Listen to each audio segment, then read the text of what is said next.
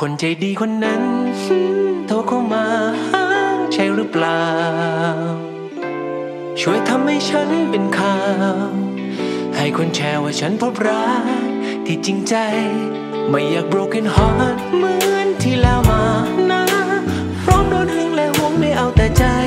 จะพลีให้ทั้งร่างกาย และให้เธอหมดหัวใจ